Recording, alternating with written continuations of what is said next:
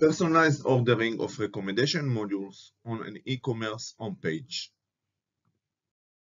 The homepage of an e-commerce website serves as the primary entry point for users to quickly pick up on their shopping journeys.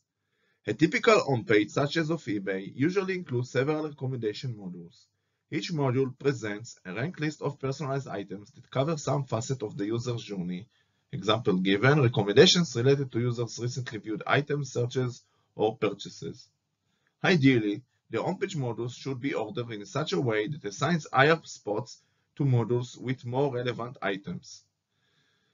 With many such modules competing on the user attention and a limited presentation space, prioritizing the module's order is essential. Yet, the order of recommendation modules is still commonly manually determined by domain experts, resulting in a fixed module order for all users. We formally address this optimization challenge and define the homepage module ordering problem as deciding the order in which various recommendation modules should be displayed to the user in her next visit to the homepage. As an additional challenge, and due to practical reasons such as maximum on-page serving time and workloads, we assume that, at inference time, the actual items that are recommended within each module are unavailable prior to decision making. We suggest a novel personalized module ordering solution based on the transformer model.